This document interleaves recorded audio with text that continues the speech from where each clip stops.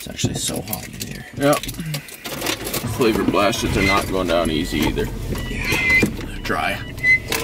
So right now we're driving to John DiDonato's house to do a fantasy matchup between Hunter and John. John doesn't know a whole lot about football.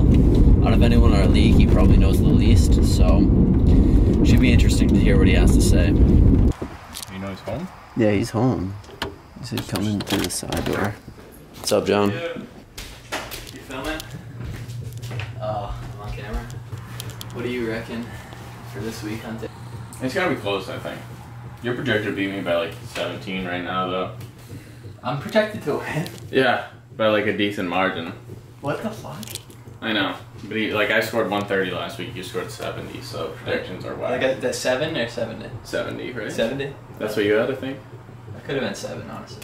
What's your team name? It's just a zero because that's what I feel like the quality I offer the league. What's the worst logo? I was just gonna say a weenie, probably. Yeah, let's be a weenie, honestly. Yeah. yeah. Full box score. Ooh, you're projected 91. Do you Yeah. have like people not playing? No. no You're just trash. Wow.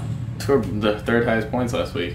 I got the worst points last week. Like. I say, like my team is awful, and they're like, "No, what do you mean? Like you have good players?" And like, "No, it's awful." And they're like, "Watch, like you have like LeSean McCoy got two point five points, RB one two point four points, and they think my team is actually like decent. My team's awful, lowest scoring team last week. My only hope in the entire league has a Q, which as far as I know is bad sign. Probably won't even play. Not even gonna. I'm just gonna risk it there.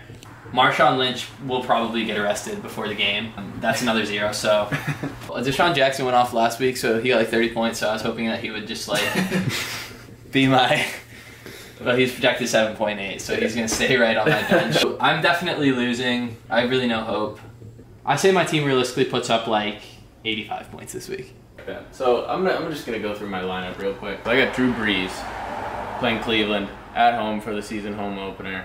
I think he's gonna pop off, put up at least 25. I said, "Can you give your unbiased Yeah, uh, opinion?" unbiased. First thing he says is, "Yeah, my, I'm just 25 points probably for this guy." Tarik Cohen, not gonna do well. I'm guessing 3.5 points for him. He's not very good. Mike Evans, I need him to do well. Your I team's actually trash. my team's great. Your team's actually not that good. No, my running backs are bad.